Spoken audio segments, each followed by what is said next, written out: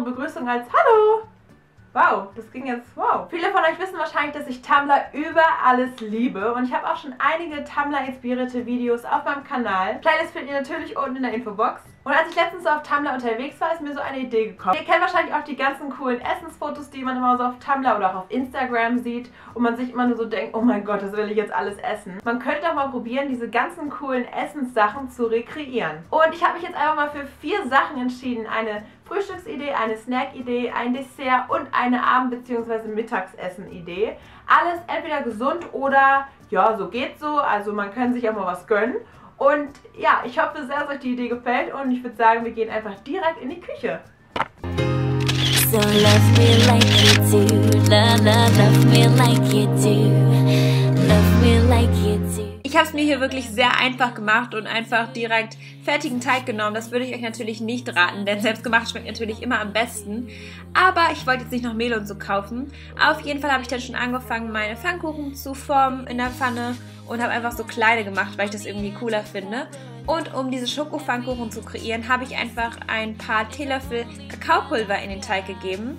Und dann habe ich einfach auch schon in meinem Kühlschrank geguckt, was ich so zum Dekorieren finde und bin da echt fündig geworden und habe zum Beispiel hier diesen Ziegenmilchjoghurt gefunden, der wirklich total lecker schmeckt. Also echt anders, muss man sich glaube ich dran gewöhnen, aber sehr, sehr gut. Und sagt mir bitte, dass ich nicht die Einzige bin, die es liebt, ein neues Nutella-Glas aufzumachen.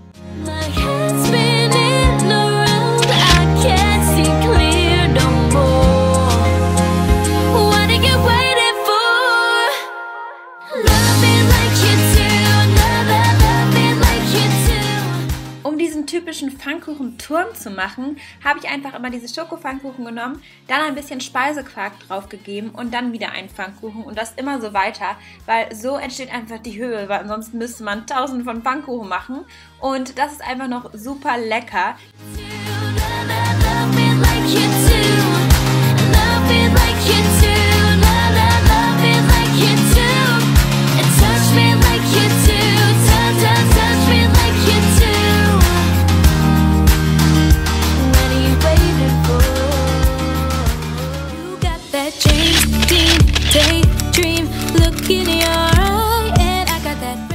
Euch haben gefragt, wie ich das immer mache und deswegen dachte ich, zeige ich euch das mal. Ich verwende auf jeden Fall immer Babyspinat, dann zum Beispiel hier zwei Äpfel oder auch eine Mango oder so und dann ein paar Himbeeren. Die Himbeeren sind natürlich viel zu farbintensiv, als dass ihr viele davon nehmen könntet, damit es noch grün wird. Also nur ein paar und die gebe ich einfach mit dem Apfel erstmal in den Mixer und dann kommt der Spinat hinzu. Normalerweise verwende ich auch so einen normalen Mixer, aber ich hatte nur einen Stabmixer Mixer, Mixer, Mixer.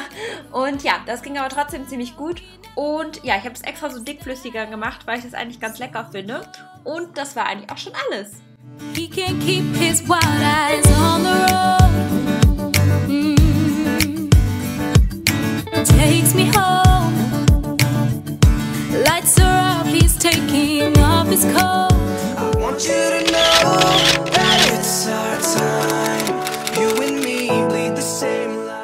Das Rezept ist, glaube ich, mein Favorit. Und zwar braucht ihr dazu eine halbe Orange, dann ein paar Blaubeeren, dann ein paar Granatapfelkerne, außerdem Spinat oder Salat, dann Paprika, eine halbe Avocado, Feta und Tomaten, außerdem noch Öl und Honig.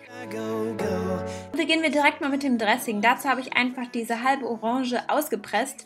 Normalerweise würde ich auch eine Orangenpresse nehmen, aber hatte ich leider auch nicht. Deswegen, ja, der Saft war übrigens sehr lecker. Äh, deswegen habe ich einfach so meine Hände genommen. Das ging eigentlich auch ziemlich gut. Und dazu habe ich dann einfach nach Augenmaß ein bisschen Öl und ein bisschen Honig gegeben. Und auf den ersten Blick vermengt sich das nicht so gut. Aber wenn man es gut schüttelt, dann geht das eigentlich ziemlich einfach. Und Leute, das macht echt Spaß, wenn man dazu ganz, ganz laut Musik hört. Der wohl einfachste Salat der Welt. Und zwar gebe ich als erstes den Spinat in die Schüssel, dann kommt da meine Paprika und die Avocado hinzu. Dann habe ich die klein geschnittenen Tomaten dazu gegeben. Und dann kommen auch schon die Granatapfelkerne.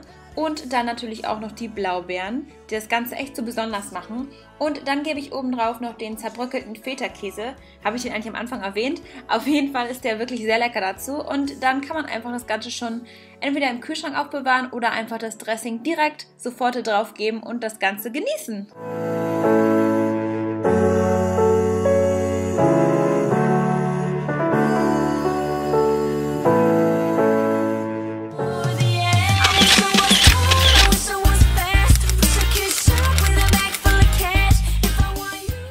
Lecker und super einfach, denn dazu braucht man einfach nur Speisequark, dann gefrorene Himbeeren, Oreo-Kekse, dann so ein Schokopudding, Zimt und Karamellsoße. Und als erstes habe ich meinen Speisequark mit diesem dunklen Schokopudding vermengt, damit so eine hellbraune Konsistenz entsteht.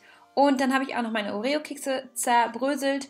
Dazu habe ich erst meine Hände verwendet, aber ich wollte, dass die so richtig kleine werden. Und ich habe übrigens erstmal die Hälfte gegessen.